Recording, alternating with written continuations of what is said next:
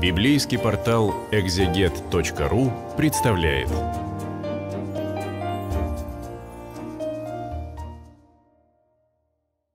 Библейский портал экзегет.ру представляет цикл бесед о книге «Бытия». Сегодня мы с вами читаем 23 главу. Жизни Сариной было 127 лет. Вот лета жизни Сариной. И умерла Сарра в Кириаф Арбе, который на долине, что ныне Хеврон, в земле Ханаанской. И пришел Авраам рыдать по Саре и оплакивать ее. И отошел Авраам от умершей своей, и говорит сынам Хетовым, и сказал, «Я у вас пришелец и поселенец, дайте мне собственность места для гроба между вами, чтобы мне умершую мою схоронить от глаз моих». Сыны Хета отвечали Аврааму и сказали ему, «Послушай нас, господин наш, ты князь Божий посреди нас. В лучшем из наших погребальных мест похорони умершую твою. Никто из нас не откажет тебе в погребальном месте для погребения на нем умершей твоей. Авраам встал и поклонился народу земли той, сынам Хетовым. И говорил им Авраам, и сказал, «Если вы согласны, чтобы я похоронил умершую мою, то послушайте меня, попросите за меня Ефрона, сына Цахарова, чтобы он отдал мне пещеру Махпеву, которая у него в конце поля его, чтобы за довольную цену отдал ее мне посреди вас, в собственность для погребения». Ефрон же сидел посреди сынов Хетовых, и отвечал Ефрон хиттиянин Аврааму вслух, сынов Хета, всех входящих во врата города его, и сказал, «Нет, господин мой, послушай меня, я даю тебе и поле, и пещеру, которая на нем, даю тебе пред очами сынов народа моего, дарю тебе, похорони э, умершую твою». Авраам поклонился пред народом земли той и говорит Ефрону вслух всего народа земли той и сказал, «Если послушаешь, я даю тебе за поле серебро, возьми у меня, и я похороню там умершую мою».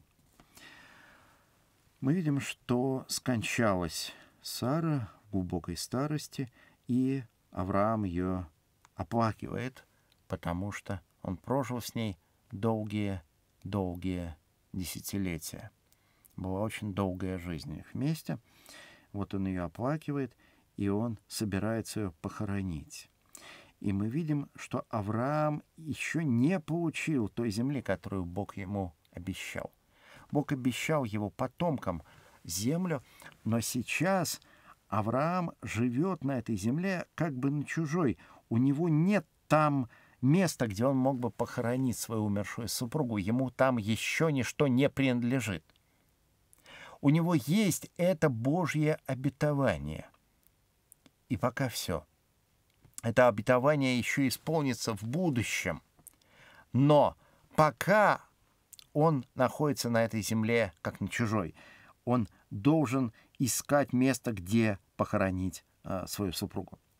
Однако сыны Хетовы ему говорят, э, что э, он пользуется у них большим авторитетом, большим уважением, и они ему с радостью предоставят это место, где он мог бы похоронить свою супругу. И вот он ведет переговоры э, с Ефроном, сыном Цахарова, относительно э, места, где он хотел бы похоронить значит, свою супругу. И Ефрон предлагает ему взять даром эту погребальную пещеру в знак уважения это такой обмен любезностями, такое проявление взаимного уважения.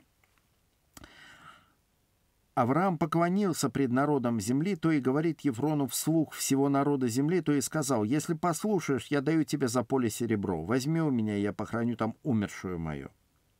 Ефрон отвечал Аврааму и сказал ему, «Господин мой, послушай меня, земля стоит 400 сиклей серебра. Для меня и для тебя это что? Похорони умершую твою». Авраам выслушал Ефрона и отвесил Авраам Ефрона серебра, сколько он объявил вслух сынов Хетовых, 400 сиклей серебра, которое ходит у купцов.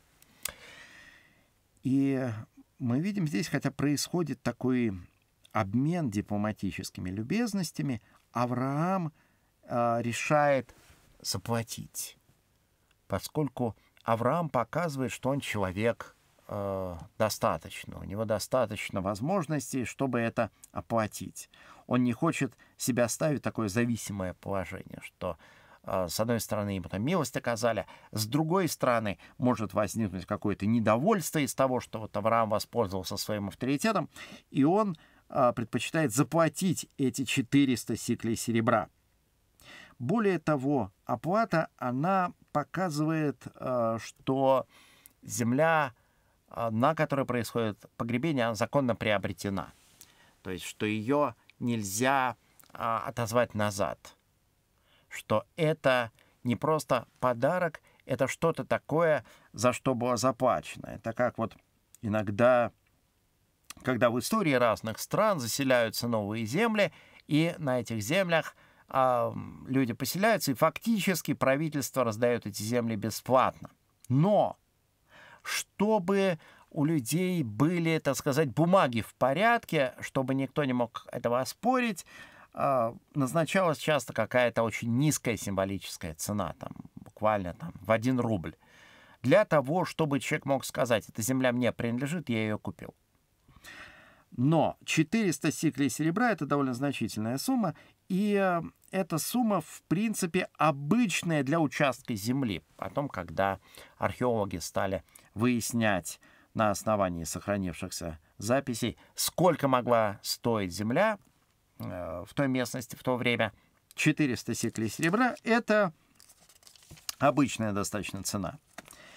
Из того поля Ефронова, которое при Махпеле против Мамре, поле и пещера, которая на нем, и все деревья, которые на поле во всех пределах его вокруг, владением Авраамовым, пред очами сынов Хета, всех входящих и выходящих во врата города его.